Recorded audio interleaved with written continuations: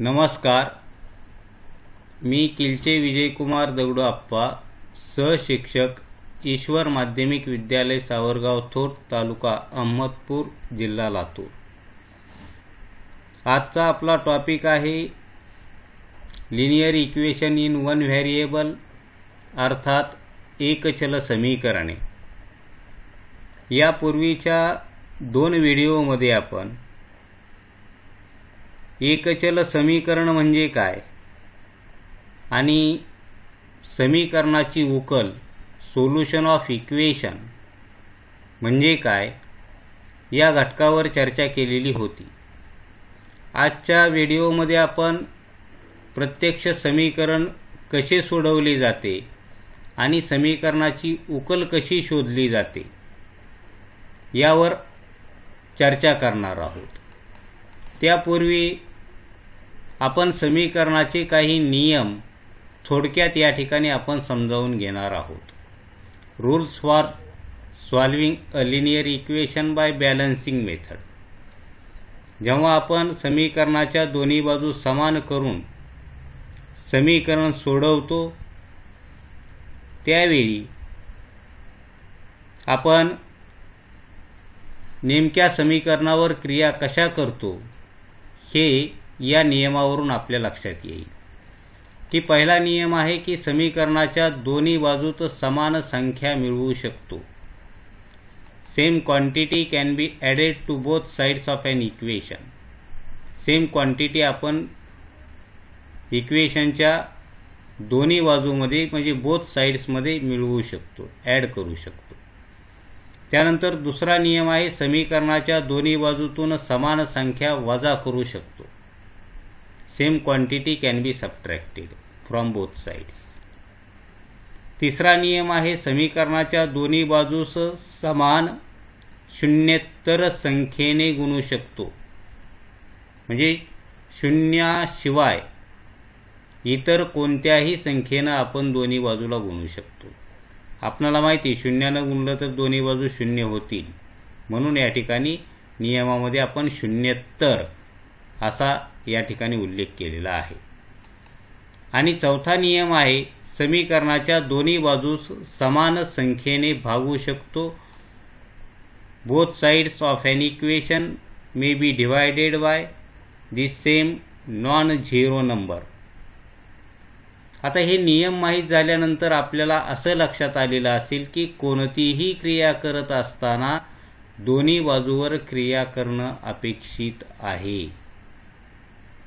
कोणती संख्या मिळवायची वजा करायची गुणायचे किंवा भागायचे? कुठलीही कुठलंही ऑपरेशन आपण करत असताना ते दोन्ही बाजूवर करणं अपेक्षित आहे. आता त्यासाठी एक उदाहरण पाहूत आपण. आता एक उदाहरण घेतलं की तीन एक साधिक सात बरोबर सोळा. आता या समीकरणाची उकल शोधायची. म्हणजे समीकरण सोडवायचंय. समीकरण सोडवणे म्हणजे काय? तर समीकरण समीकरणाची उकल शोधणे. म्हणजे समीकरणामधील चलाची अशी किंमत शोधणे की त्या किमतीमुळे समीकरणाचे समाधान होते. आता पहा तीन एक साधिक सात बरोबर सोळा हे समीकरण सोडवत असताना आपण काय करतो? चलपद एका बाजूला आणि स्थिरपद एका बाजूला आणण्याचा प्रयत्न आपण करत असतो. मग आपल्याला या समीकरणामध्ये तीन एक्स अधिक सात बरोबर सोळा या समीकरणामध्ये आपणाला डाव्या बाजूमध्ये अधिक सात आहेत हे नको आहेत. मग आपण डाव्या बाजूतून सात काय करूत? वजा करूत. म्हणजे आपणाला दोन्ही बाजूतून सात वजा करावे लागतील एका बाजूतून वजा करता येणार नाहीत. आता दोन्ही बाजूतून सात वजा केले. आपणाला मिळेल तीन एक्स बरोबर तीन एक्स अधिक सात उणे सात बरोबर सोळा उणे सात. दोन्ही बाजूतून सात वजा केले. पाच डाव्या बाजूतून सात नाहीशे होतील.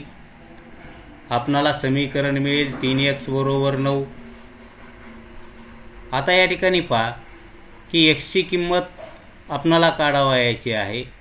तर त्या समीकरणाच्या दोन्ही बाजूला आपण कशाने भागूत? तीनने. कारण तीन एक्सचा अर्थ काय होतो? तीन गुणिले एक्स असा होतो. म्हणून दोन्ही बाजूला जर तीननं भागलं तर आपणाला मिळेल यक्स बरोबर नऊ छेदस्थानी तीन म्हणजे यक्सची किंमत मिळेल तीन. तर या पद्धतीनं आपणाला हे समीकरण सोडवता येईल. आता सेमीच्या विद्यार्थ्यांसाठी फक्त हे लिखाण कसं करायचं? ते या ठिकाणी मी उजव्या बाजूला दाखवलेलं आहे. Subtract seven from both sides दोन्ही बाजूतून सात वजा करा. आपणाला बाकीचं लिखाण तर सारखंच असतं. तीन एक्स बरोबर नऊ मिळतील. त्यानंतर दोन्ही बाजूला तीनने भागून घ्या. आणि या ठिकाणी एक्सची किंमत काय मिळेल? तीन मिळेल. त्यानंतर समजा आपण दुसरं उदाहरण घेतलं. दोन एक उणे पाच बरोबर पाच. पा यापूर्वी पाहिलेल्या पद्धतीनुसारच आपणाला डाव्या बाजूत चलपद ठेवायचीत आणि उजव्या बाजूत स्थिर पद. मग आम्हाला डाव्या बाजूत ही ऋण पाच नको आहेत. मग आपण त्याची विरुद्ध संख्या मिळवतो. एखादं पद जर नाहीसं करायचं झालं तर. मग आता आपण काय करावं लागेल? दोन्ही बाजूत पाच मिळवावे लागतील. आता दोन्ही बाजूत जर पाच मिळवले तर काय घडेल पाय? हे ऋण पाच आणि हे धन पाच या दोघांची बेरीज काय होईल? शून्य होईल दोन विरुद्ध संख्या आहेत. म्हणजे डाव्या बाजूत फक्त काय राहतील? यक्षी पदं राहतील. आता उजव्या जी क्रिया डाव्या बाजूवर व्हायला लागलेली ती क्रिया उजव्या बाजूवर होतच असते आणि ती करावीच लागते. मग आता डाव्या बाजूत राहतील फक्त दोन एक्स अधिक शून्य म्हणजे दोन एक्स आणि उजव्या बाजूत काय मिळतील तुम्हाला? दहा. आता या ठिकाणी पहा. दोन एक्सचा अर्थ दोन गुणिले एक्स असा होतोय. या ठिकाणी दोन्ही बाजूला आपण दोन न भागून घेऊ. दोन एक्सलाही दोन न भागलं दहालाही दोन न भागलं. तर आपणाला डाव्या बाजूत दोन एक्स भागिले दोन म्हणजेच भागाकार येईल एक्स आणि दहा भागिले दोन म्हणजे पाच एक्सची किंमत मिळेल पाच. आता ही झाली दोन्ही बाजू समान करून समीकरणे सोडविणे ही पद्धती बॅलन्सिंग मेथड असं आपण या पद्धतीला म्हणलेले आता समजा आपण दुसरी पद्धत ट्रान्सपोज मेथड किंवा त्याला आपण पक्षांतराची पद्धत. काय असते? हे या ठिकाणी पाहणार आहेत. समजा हेच समीकरण आपण घेऊन पाहूत की दोन एक सुने पाच बरोबर पाच. आता हे समीकरण लिहून घेतल्यानंतर आपण पक्षांतरामध्ये काय करतो? हे नियम सुरुवातीला व्यवस्थित ऐका. आता या ठिकाणी जर एखादं पद आपणाला डाव्या बाजूत ऋण पाच नको आहेत ते जर पद आपण उजव्या बाजूत नेत असू तर ते पद ऋण असेल तर दुसऱ्या बाजूत आपण गेल्यानंतर ते पद धन होईल. म्हणजे ऋणपद धन होईल धन असेल त्याची जर आपण बाजू बदलली तर ऋण होईल. गुणाकारातलं एखादं पद आपण दुसऱ्या बाजूत नेत असू ट्रान्सफर करत असू तर ते भागाकारात जाईल आणि भागाकारात असेल तर गुणाकारात जाईल. पा लक्षात आले? नियम बेरजेतलं पद बाजू बदलल्यानंतर वजाबाकीत. वजाबाकीतला असेल ऋण असेल तर ते धन होईल धन असेल तर ऋण होईल गुणाकारात असेल तर भागाकारात जाईल आणि भागाकारात असेल तर गुणाकारात जाईल. या नियमानुसार. आता हे ऋणपात जर उजव्या बाजूत तुम्हाला न्यायचे झाले तर उजव्या बाजू उजव्या बाजूत गेल्यानंतर ऋणपाच काय होतील? धनपाच होतील. पाया ठिकाणी. आपण हे ऋणपाच उजव्या बाजूत नेणार आहेत. उजव्या बाजूत गेल्यानंतर ते काय होतील? धन पाच होतील. म्हणजे समीकरण काय मिळेल? दोन एक्स बरोबर दहा मिळेल. आता आपणाला एक्सची किंमत काढायची. म्हणजे हे गुणाकारातले दोन नको आहेत. तर आपण त्याला उजव्या बाजूत नेणार आहेत. ते कशात जातील? भागाकारात जातील. म्हणजे दहा भागिले दोन मिळतील. म्हणजे एक्सची किंमत काय मिळेल? एक्स बरोबर पाच मिळतील. तर हीच पद्धत शक्यतो आपण जास्तीत जास्त वापरत असतो. Transpose method. परंतु या ठिकाणी पहा बॅलन्सिंग मेथड आणि ट्रान्सपोज मेथड किंवा या ठिकाणी पक्षांतराची पद्धत आणि बाजू समान करण्याची पद्धत यामध्ये फरक काय दिसतो काहीच फरक नाही. या ठिकाणी आपण दोन्ही बाजूत पाच मिळवले होते. या ठिकाणी हे शून्य झालेलेच होते. म्हणून या ठिकाणी पा तीच क्रिया या ठिकाणी करतो फक्त आपण त्याला पक्षांतर म्हणलेले. या ठिकाणी सुद्धा दोन्ही बाजूत पाचच मिळवलेत आपण. फक्त म्हणत असताना काय म्हणलो आपण? की डाव्या बाजूतले ऋण पाच उजव्या बाजूत धन पाच होतात. असं म्हणलो. म्हणजे प्रत्यक्ष या ठिकाणी ज्या काही क्रिया होतात दोन्ही बाजू समान करताना त्याच क्रिया या ठिकाणी सुद्धा होत असतात. फक्त आपण या ज्या पायऱ्या आहेत या त्या ठिकाणी दाखवत नाहीत. म्हणून पक्षांतराच्या पद्धतीमध्ये धन ऋणा पाच होते. ते आपण उजव्या बाजूत धन पाच केलेले तर हे चार नियम लक्षात ठेवा. बेरजेतले वजाबाकीत वजाबाकीतले बेरजेत गुणाकारातले भागाकारात आणि भागाकारातले गुणाकारात त्यानंतर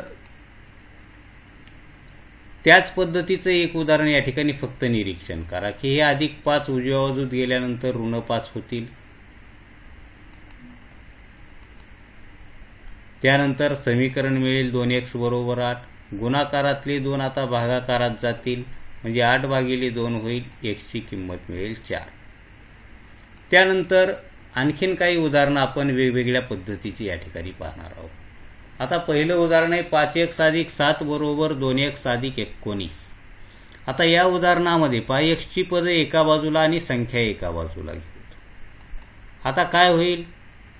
दोन एक्स उजव्या बाजूत होते डाव्या बाजूत नेले तर उणे दोन एक्स होतील आणि सात हे डाव्या बाजूत धन होते उजव्या बाजूत नेले ऋण सात झाले. आता पाच एक्स उणे दोन एक्स आपणाला माहिती ते मिळतील तीन एक्स आणि एकोणीस उणे सात ते मिळतील बारा. आता गुणाकारातले तीन. भागाकारात. म्हणजे एक्स बरोबर बारा भागिले तीन लिहिता येईल. म्हणजे एक्सची किंमत काय मिळेल? चार. पा एक्सची पदं एका बाजूला आणि संख्या एका बाजूला नेणे. हे लक्षात ठेवा. नियम केव्हा वापरायचे हे सुद्धा माहीत पाहिजे. नाहीतर काही विद्यार्थी हे गुणाकारात पाच आहेत म्हणून लगेच भागाकारात नेतील. असं नाही. पूर्ण बाजूला गुणाकारात असेल तरच भागाकारात न्या किंवा पूर्ण बाजूला भागाकारात असेल तरच गुणाकारात ते पद न्या. अन्यथा नेऊ नका. आता दुसरं उदाहरण जर आपण पाहिलं तर या ठिकाणी पहा. एक्सची पदं एका बाजूला घ्या. आता हे सात एक्स उजव्या बाजूत आहेत. आपण डाव्या बाजूत सर्व एक्सची पदं म्हणजे चलपदं मिळवणार आहोत. आणि उजव्या बाजूत स्थिर पद मिळवणार आहोत. मग काय होईल पहा. हे सात एक्स डाव्या बाजूत आणल्यानंतर उणे सात एक्स झाले. आणि हे सतरा उजव्या बाजूत नेले. म्हणजे या ठिकाणी आपण चलपद वेगळीकड काढले आणि स्थिर पद वेगळीकड. मग दोन एक्स उणे सात एक्स आपणाला माहिती दोन उणे सात ऋण पाच मिळतील ऋण पाच एक्स आणि उणे आठ उणे सतरा उणे पंचवीस.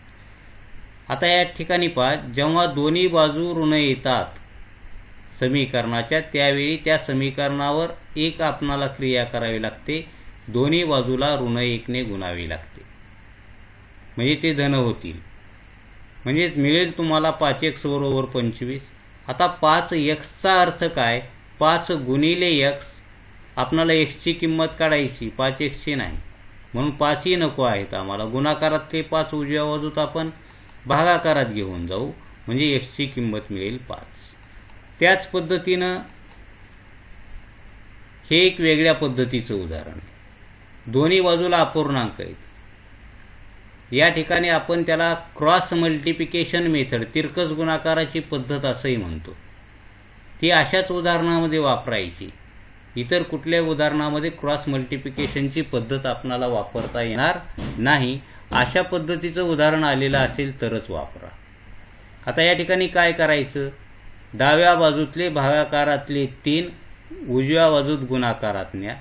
आणि उजव्या बाजूमधील भागाकारातील दोन डाव्या बाजूत गुणाकारात न्या. म्हणजे हे क्रॉस मल्टिप्लिकेशन होईल. मग काय होईल? दोन गुणिले दोन एक्स होतील. बरोबर तीन गुणिले तीन होतील म्हणजे चार एक्स बरोबर नऊ मिळतील. आता गुणाकारातले चार भागाकारात. म्हणजे एक्स बरोबर काय मिळेल? नऊ छेदस्थानी चार मिळेल. तर या पद्धतीनं आपण समीकरणं सोडवू शकतो. आता यामध्ये वेगवेगळे प्रकार आहेत. आता यानंतर समजा अशा पद्धतीचं उदाहरण दिलेलं आहे. आता यामध्ये काय करावं? हे भागाकारातले तीन इकडं गुणाकारात आणि हे भागाकारातले चार इकडं गुणाकारात असं या ठिकाणी करता येणार नाही. मी तुम्हाला यापूर्वी सांगितलं की गुणाकारातली एखादी संख्या भागाकारात न्यायची असेल आणि भागाकारातील एखादी संख्या गुणाकारात न्यायची असेल तर ती पूर्ण बाजूला भागाकारात पाहिजे. एखाद्या पदाला भागाकारात असलेली संख्या गुणाकारात नेऊ शकत नाहीत. मग आता अशा उदाहरणामध्ये काय करावं? तर ही अपूर्णांकाची बेरीज करणे. हे आपणाला माहीत पाहिजे. मग आपण असं करूत या ठिकाणी की या तीन आणि चारचा लसावी येतो बारा. बाराने आपण दोन्ही बाजूला गुणून घेऊत. मग बारानं जर दोन्ही बाजूला गुणलं तर प्रत्येक पदाला बाराने गुणावं लागेल. मग आता या ठिकाणी पहा बारा कंसात एक्स भागिले तीन अधिक पाच. डाव्या बाजूला बारानं गुणलं. बरोबर उजव्याही बाजूला बाराने गुणलेले आहे. आता काय घडेल पहा. पहिल्या पदाला जर बारानं गुणलं तुम्ही तर तीन चोक बारा बारा भागिले तीन म्हणजे चार येतील. पहिलं पद मिळेल आपणाला चार एक्स त्यानंतर बारानं पाचला गुणलं साठ. बरोबर. चारनं बाराला भागलं तर भागाकार येईल तीन तीन गुणिले पाच बरोबर पंधरा. आता यापुढं समीकरण कसं सोडवायचं? हे तुम्हाला माहीत आहे. काय? बऱ्याच उदाहरणामध्ये असा नवीन येणारा भाग हा अतिशय थोडा असतो. आता या ठिकाणी पाच साठ तुम्ही उजव्या बाजूत नेणार आहेत. मग तुम्हाला मिळेल चार एक्स बरोबर पंधरा हे अधिक साठ उजव्या बाजूत गेले ऋण साठ. आणि चार एक्स बरोबर मिळेल ऋण पंचेचाळीस. त्यानंतर शेवटी आपण विचार करणार आहेत की हे यक्षची किंमत माहीत पाहिजे आपण काढायची. मिळाली चार यक्षची गुणाकारातले चार भागाकारात. म्हणजेच एक्स बरोबर ऋण पंचेचाळीस छेदस्थानी चार. तर अशा पद्धतीनं हे उदाहरणं सोडवायची. जेव्हा जेव्हा अपूर्णांक येईल त्यावेळी छेदाचा लसावी काढा आणि त्या लसावीने दोन्ही बाजूला भागा. म्हणजे तुम्हाला या ठिकाणी त्या समीकरणाचं सरळ रूप या ठिकाणी मिळेल. म्हणजे अपूर्णांक नाहीसे होतील आणि तुम्हाला ते उदाहरण सोडवायला सोपं होईल. त्यानंतर हा एक नवीन प्रकार आहे की समजा आपणाला समीकरणामध्ये कंस दिलेले असतात. त्यावेळी ते उदाहरण कसं सोडवावं? आता या ठिकाणी पहा. कंस सुरुवातीला सोडवून घ्यावेत. आता दोननं एक्सला गुणलं दोन एक्स मिळतील. दोननं तीनला गुणलं सहा मिळतील. पहा गुणाकार. दोन गुणिले एक्स दोन एक्स दोन गुणिले तीन सहा. हे धन आहेत हे धन आहेत धन गुणिले धन गुणाकार धन येणार आहे. बरेच विद्यार्थी या ठिकाणी चुका करतात आता.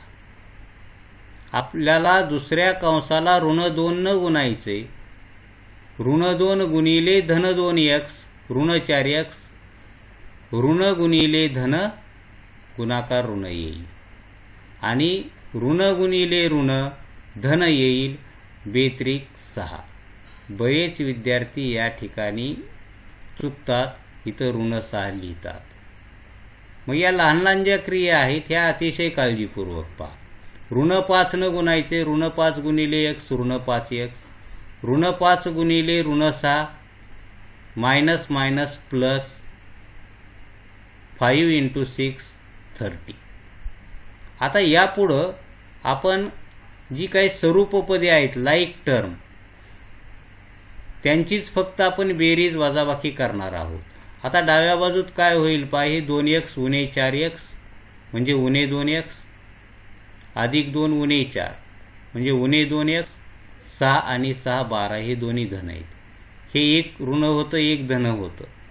एक ऋण आणि एक धनपद असेल तर त्याची बेरीज कशी करावायची आहे? मोठ्या संख्येतून लहान संख्या वजा करा मोठ्या संख्येचे चिन्ह द्या. असंही आपण म्हणतो त्याला.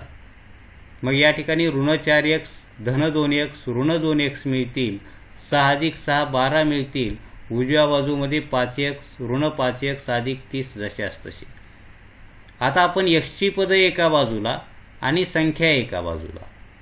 पा उणे पाच एक्स डाव्या बाजूत आणले धन होतील आणि अधिक बारा हे उजव्या बाजूत नेल्यानंतर ऋण बारा होतील. समीकरण मिळेल. उणे दोन एक्स अधिक पाच एक्स बरोबर तीस उणे बारा म्हणजेच पाच एक्समधून दोन एक्स गेले तीन एक्स बरोबर अठरा म्हणजेच एक्स बरोबर अठरा भागिले तीन गुणाकारातले तीन भागाकारात म्हणजे एक्सची किंमत मिळाली सहा. आणि शेवटचं एक या ठिकाणी उदाहरण आपण पाहणार आहोत की तीन एक्स भागिले दोन बरोबर एक्स उणे सात. आता या ठिकाणी हे भागाकारातले दोन उजव्या बाजूमध्ये आपणाला गुणाकारात नेता येते परंतु पूर्ण बाजूला गुणायचं आहे त्या दोननं म्हणून या ठिकाणी आपण त्या एक्स सातला कंस केलेला आहे. बऱ्याच वेळा विद्यार्थी या ठिकाणी एकापेक्षा जास्त पदं असताना कंस करत नाहीत. आणि या दोननं उजव्या बाजूला गुंतात फक्त एक्सलाच गुंतात सातला गुणत नाहीत. आणि त्या ठिकाणीच आपलं उदाहरण चुकलेलं असतं. मग आता या ठिकाणी पहा तीन एक्स बरोबर काय मिळेल? दोननं कंसाला गुणलं तर दोन एक्स उणे चौदा मिळतील. हे दोन एक्स डाव्या बाजूत आणा तीन एक्स उणे दोन एक्स बरोबर ऋण चौदा. म्हणजेच एक्सची किंमत काय असेल? ऋण चौदा. तर अशा पद्धतीनं आपण ही एका चलातील समीकरणे सोडवू शकतो. धन्यवाद.